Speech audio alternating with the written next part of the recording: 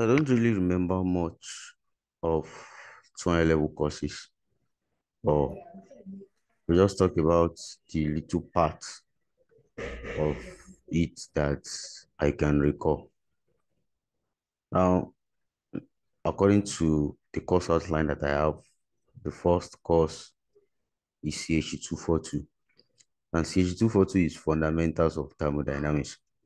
So almost everything that you're going to be doing here is based on thermodynamics. For thermodynamics, what I'm going to advise you to do is that you see that is a three unit course. So it's very important. You can't just do it anyhow you like. So the first thing I'm going to advise you to do is that you go back to your 100 level courses. For those of you that did 100 level, you go back to your physics 125. Physics 125 go to to five and go and read thermodynamics from there. Now, after you have read thermodynamics for phase one to five, please do not skip any part of it because phase one to five is 100 level course. So you can't expect to skip some part of 100 level course that is difficult. Then I expect to do well in a 200 level course. Doesn't make sense at all.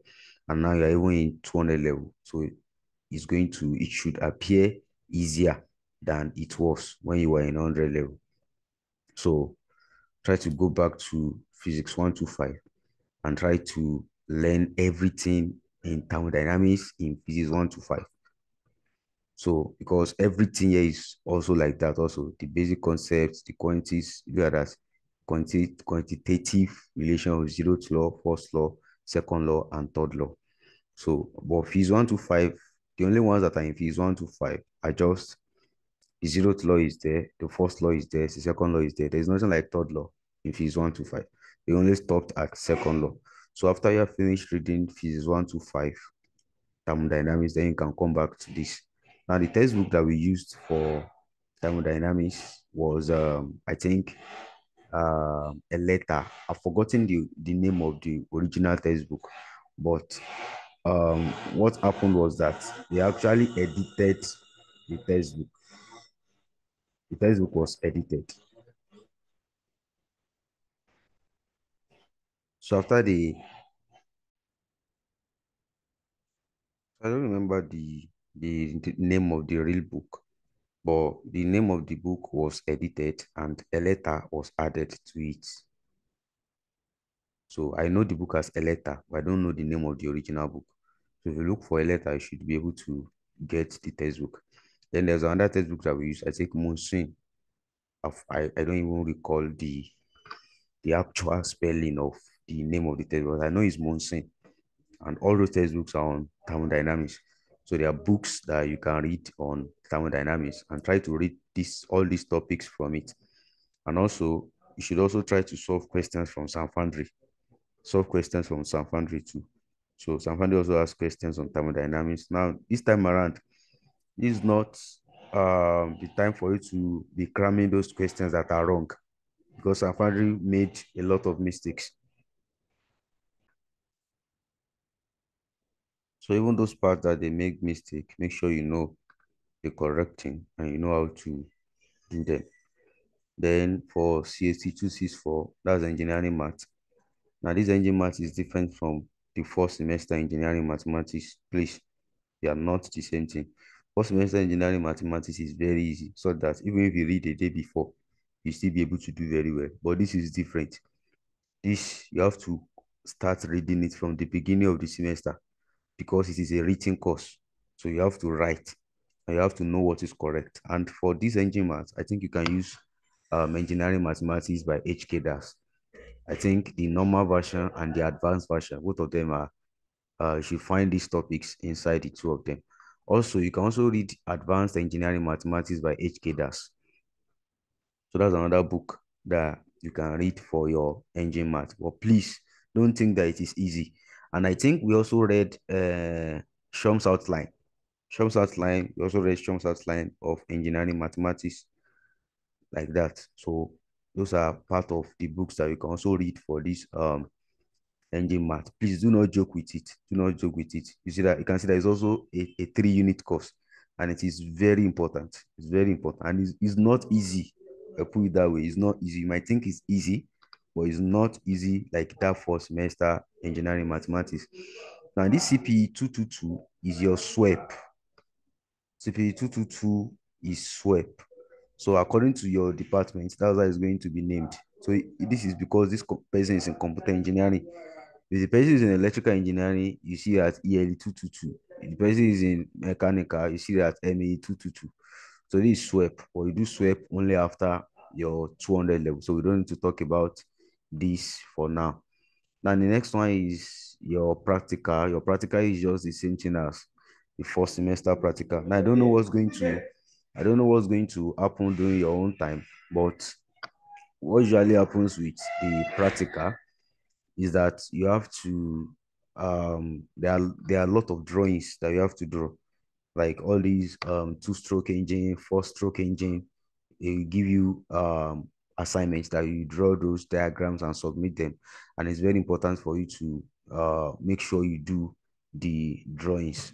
But every other thing is essentially the same thing as what you did in your first semester. So then cve now cve has become more difficult. You do Hooke's law, you do stresses and strains and temperature changes, you do torsion, you do stress circle. Stress circle is the Mohr circle. So you do all of these topics. The, the, the difficult part of it is shear force and bending moment, especially when you have to do the graph. That means that you have to draw the shear force and bending moment diagram. That's what they mean by graphical method of structures, the shear force and bending moment diagram. Now for this, you can use um, Beer, Beer and Justin to read it. I think you can also use Hibbeler. And you can also use this textbook, Barry J. There's another textbook that is Barry J. So you can also use it to read um, your CV. Please, it's very important that you understand all these stuffs. And for the shear force and bending moment diagrams, there are some like eight, like there are some shortcuts that is going to make it very easy for you to even draw the diagram without even calculating on the beam because that's what we are asked during the exam. And since it is Professor Jima that is taking you guys, I, I believe that the man the man is someone that likes for someone to work. Doesn't like giving somebody simple question that you just look at it and just say the answer. That's that's just Professor Jima. He likes giving someone a question that you work before you get the answer. So he's probably going to ask you a lot of questions on bending moment diagram, shear force and bending moment diagram. Is going to ask you a lot of questions on them. Even prefer people to do his course as written. So unless I, I, I, there is reason for me to believe that he might even change it to written, but I don't think he can change it. I don't think so. So it should still be a CBT course, and you are supposed to know how to draw shear force and bending moment diagram, how to use the Mohr circle, the interpretation of everything in the Mohr circle. You are supposed to know them. So you can read all those textbooks for um, the topics that are inside this course. And you can see it's also a three unit course. So it's something that if you do very well, you should still be able to pass it. Now, for ELE, ELE is basically almost is almost the same as four semesters ELE, but there is a little difference in the sense that here I think they are talking about generators you see alternators, transformers, equivalent circuits. So for this one, you have to attend all your classes.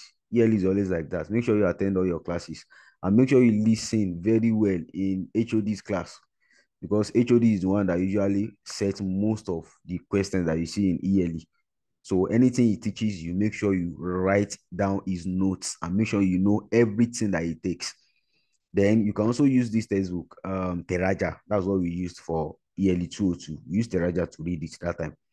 So you can still read it with Theraja. Then make sure you have notes and read your notes very well. Know that yearly their department, they don't like giving people time. They don't like giving people time. CV give you time and they give you questions that you will work. Yearly will give you questions that you suffer, but they will not give you enough time. So just read that for yearly. I think you should be good. And also um HOD's notes. Then for yearly 276, it's still the same thing as almost the same thing as first semester. Read everything that you are given in class. And during our time, um, okay, just read everything you are given in class. And any questions that the man gives you in class, please do not joke with them. Any questions that the man just come to class and give you questions, make sure you know those questions very well because they are likely going to come out in your exam. Genesis 2 and 2, Introduction to Social Sciences and Citizenship Education. I think there should be um, spender for this particular course. There should be spender for it. And that's what they usually set every year from that spender. And that's all. Don't need to disturb yourself on this. Now for ME, ME is more difficult than first semester ME. It's first semester ME that you just be drawing. but this time around, you see what they wrote here? They wrote something here. They said what? Blueprint reading and what? Development. This development is the difficult part of it. You know, first semester, you'll be given the diagram and you have to reproduce that diagram, right? Now, for second semester, you do something like that, but you still do more, especially the aspect of development. Development means you'll be given your question in statement form. You're not the one that will interpret it and draw the diagram on your own, not that you already be given the diagram. So there will still be parts where you would have been given the diagram and you're asked to reproduce the diagram. And there will be parts where you have to do what you have to develop. That means that you have to interpret the question and draw the diagram from what you are given. And there even some part of development that you'll be given to like a diagram, but what you are expected to do is going to be more than that diagram. That's why they call it development. So they just give you like a basic rule of how the um, shape is going to be changing. Then you have to draw the full um, view of the shape. So please be careful, and you still have to do isometric projection. Isometric projection is very easy. It's very easy, but it's difficult if you don't, if you are not familiar with it. So 200 um, second semester courses are a little bit more difficult than first semester courses. Now for ME 272, I what actually happened during our own time was that the man sets questions for us from a particular website. I think it was IndiaBix or something like that. I can't recall the name of the website. And the questions look nothing like what is inside the course. So most of us didn't do well in the test because of that. But in the exam, because people were able to like find out where the exam came from, where the test questions came from. So they went and downloaded all of the questions and uh, memorized them for the exam. That was actually what happened. So people did well for the uh, exam. So I don't know what will happen this time around, but whatever materials the man gives you, make sure you read the materials very well. Then if you still have those past questions also, or you can go to that website. I think it's IndiaBix or something. So you should go there and try to like study all the questions that are there. So I think that should be all for all the um 200 level second semester courses. I don't think there's any other course that you are doing that I've not talked about.